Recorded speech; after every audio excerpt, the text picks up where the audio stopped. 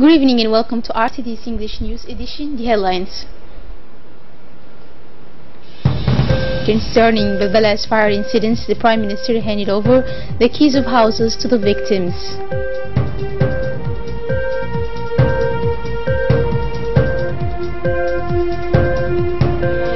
And on the international news in Australia, authorities stopped a terror plot to take down an airplane. Thanks for joining us in our newsroom. The Prime Minister Abdul Qadir Kamil Muhammad and the Foundation Right to Housing, initiated and created by the President of the Republic, was still in the honor today at Balbala. Indeed, it was the end of a nightmare and painful days for some 199 families who have lost everything in the fire that ravaged the area called 4 meter on last Tuesday, 18 July. The families of this district, as, as, the most vulnerable, have received this morning from the hands of the Prime Minister the keys of their new houses. These houses are located on the same site of social housing in the course of construction. Upon his arrival, the Prime Minister Abdul Qadir Kamil Muhammad was welcomed by the Minister of the Interior Hassan Umar, who is also the coordinator of the management of Balbala's disaster relief. The Prime Minister was also welcomed by the Minister of Women and Family Mumina Hamad Hassan, the Mayor of the City of Djibouti Fatouma Awal Osman, the Secretary General of the Secretary of State in charge of Social Affairs, as well as the Director General of the Foundation Right to Housing, in by a crowd of happy affected uh, beneficiaries of the fire of Balbala. After the delivery of the keys of the new homes, the Prime Minister has taken advantage of this opportunity to meet with the beneficiaries settled in the new houses. They have expressed to the Prime Minister their satisfaction to have benefited from new housing, but also of aid composed of food, kitchen utensils, and mattresses and blankets. Following these discussions with the victims, the Prime Minister has in an interview clarified that the remaining families have been relocated.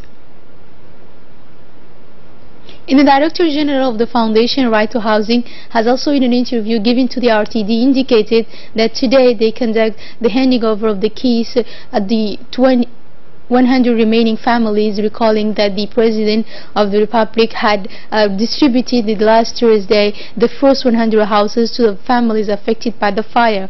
He said that these houses are part of the foundation Right to Housing initiated and built by the President of the Republic, Ismail Margele, and they are equipped with solar panels, has explained the director. An information day on the Disaster Management Center in the military hospital was presided over by the Prime Minister today. Arrived on the scene, the Prime Minister Abdul Qadir Kamil Muhammad was welcomed with the honors by the Brigadier General Dahir uh, Muhammad Ali and the Director of the Service of Dr. Colonel Ahmed Hassan Bulali were also present the Minister of Interior Hassan Umar, the Minister of Women Mumina, the Mayor of the City of Djibouti Ms. Fatuma Osman, the Director of the National Security Mr. Hassan Khairi, in the presence of the Major General Zakaria Sheikh Ibrahim, many officers of the Defense Forces and Security such as the Director of the National Police Colonel Abdullahi Abdi. The objective of the information day was to make known two essential points, which are the fact that the military hospital has been certified as the only level hospital in Djibouti, real level hospital in Djibouti with its certification. A simulation in flight video of the operation of this center has been submitted to the delegation as well.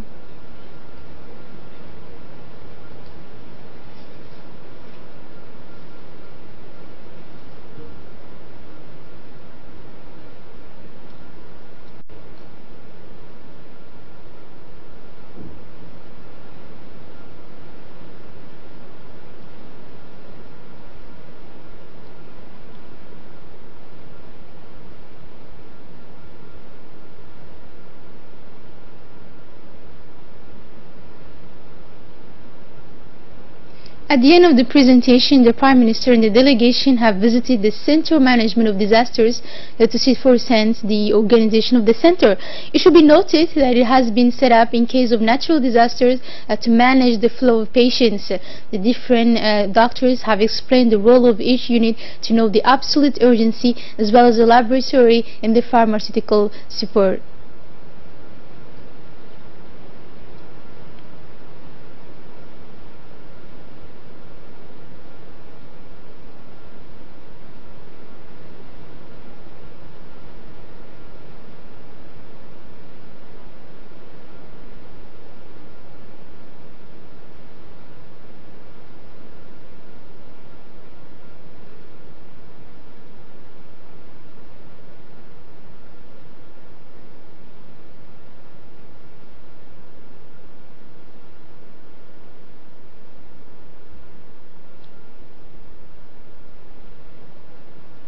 In speaking for this occasion, the Prime Minister Abdul Qadir Kamil Mohammed has congratulated the armed forces in Djibouti to the Center for the Management of Emergencies. He has also emphasized the excellence of the military hospital, uh, which uh, he said uh, reached level 3 single structure with international label in the country. The Republic of Djibouti has strongly condemned today the firing of a ballistic missile by the Houthis militia of Yemen toward the holy Mecca last Thursday, 27 July 2017.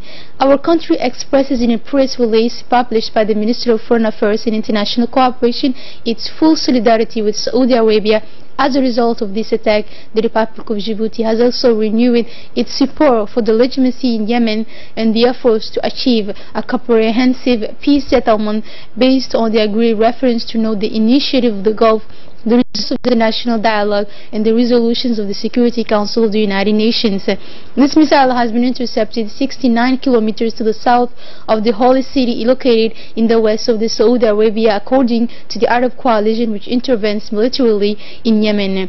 Well, to the rest of the news, in the framework of the International Day of the Fight Against the Treaty of Persons, a workshop to raise awareness of the general public to the trafficking in the human uh, beings was held today at the Institute of Diplomatic Studies. The theme was the awareness of the general public to better assist and protect the victims this workshop is organized by the Department of Justice in partnership with the Embassy of United States.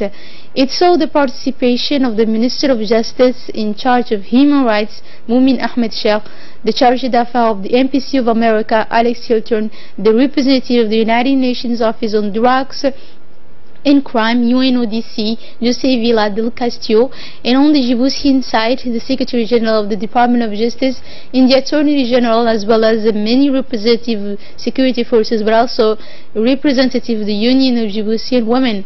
This workshop is a follow-up to that one celebrated last year uh, whose purpose was to present the Act number 133 uh, against the trafficking of human beings to all departments and institutions responsible for this issue as well as the actors of the criminal chain.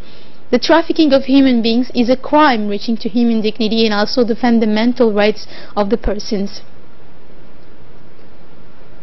started by ratifying the protocols of the Palermo Convention. They also ratified the Palermo Convention itself and they started working on the national strategy. They set up the, the national coordination group and they started working on the, on the writing of the new law the workshop on the fight against trafficking of humans has seen the participation of Mr. Alex Hilton in charge of the affairs of United Na Nations, uh, United States Embassy. He has commended the efforts of Djibouti in the fight against this scourge and promised the commitment and support of the American government. And the Minister of Justice, Mumin Ahmed, has announced that the theme of raising awareness is very important for the assistance and protection of victims of trafficking. He has clarified that the Republic of Djibouti has strengthened its legal and has provided training for uh, actors in fight against trafficking by putting the victims at the heart of the rescue plans.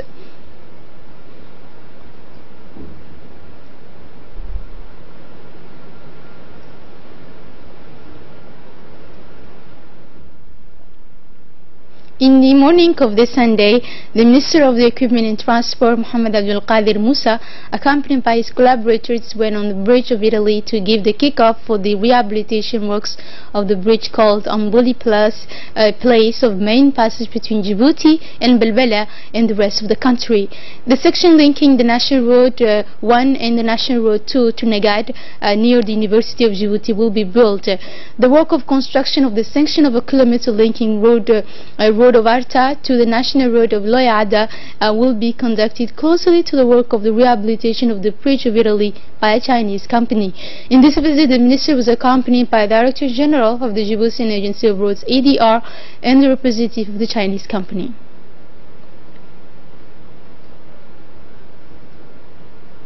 The Minister of Transport, in an intervention granted to national television, has explained that the bridge will soon be renovated and that a Chinese company called China First Highway Engineering Company is responsible for the rehabilitation of the bridge of Ombuli and the construction of this stretch of the road. Following the death of the player Yusuf Abdullah a famous star of football in Djibouti, the president of the African Federation of Football, Mr. Ahmed, has sent an address on his name and on behalf of his executive committee his sincere condolences to all the relatives of the deceased. May the good God welcome him in his eternal paradise. Inna lillahi wa inna ilayhi raji'un. And on the international news, and to close up this edition with Prime Minister uh, Malcolm Turnbull uh, says counter-terrorism agencies have stopped a blood to bring down a plane in a terrorist attack into Australia. Four men were arrested on Saturday night when heavily armed counter-terrorism officers raided four Sydney properties of an alleged plot to blow up an aircraft. Mr. Turnbull said increased security measures have been placed on all Australian airports. In Australian Federal Police Commissioner Andrew uh, Colvin said officers became aware people in Sydney were uh, planning to commit a terrorist attack using an improvised device. Commissioner Colvin said the four men in custody had not been charged by police. Police believe the attack will target the Australian aviation industry at a major airport. This is it for this edition. Thank you for staying with us and have a good night.